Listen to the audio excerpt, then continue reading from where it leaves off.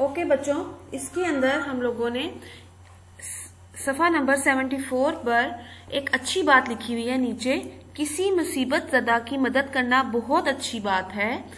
जब भी मौका मिले, आगे बढ़कर दूसरों की मदद करें। तो आपने ये अच्छी बात को पढ़ना भी है और इसके ऊपर आप लोगों ने अमल भी करना है।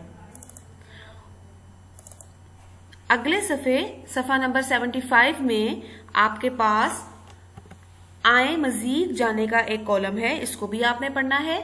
जन्नत में दाखिले के आठ दरवाजे हैं और इसको भी आपने याद रखना है, जन्नत में दाखिले के आठ दरवाजे हैं।